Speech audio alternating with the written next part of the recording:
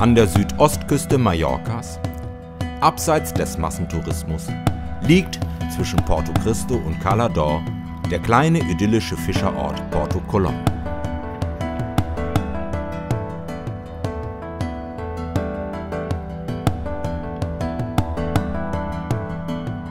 Die Cala de Porto Colom gilt als der größte und breiteste Naturhafen Mallorcas.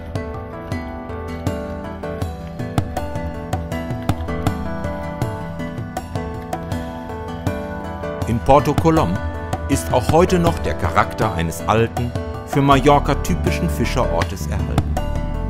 Man kann hier noch sehr gut erkennen, wie es auf Mallorca früher ausgesehen haben muss.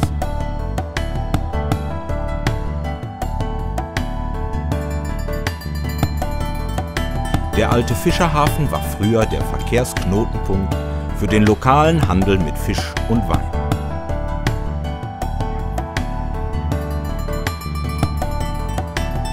Viele Fischer verdienen sich auch heute noch ihren Lebensunterhalt mit der Fischerei.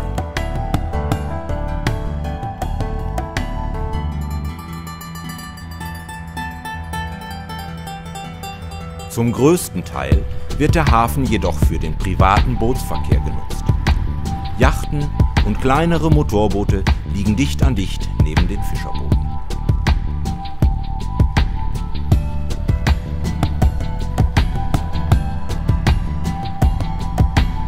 Auf der ganzen Insel ist Porto Colom für seine guten Fischlokale bekannt.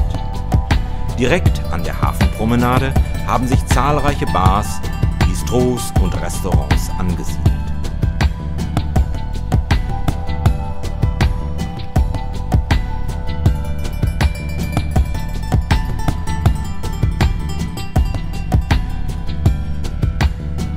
Viele der Einheimischen behaupten auch heute noch, dass Christoph Kolumbus hier geboren ist und dem Ort somit seinen Namen gegeben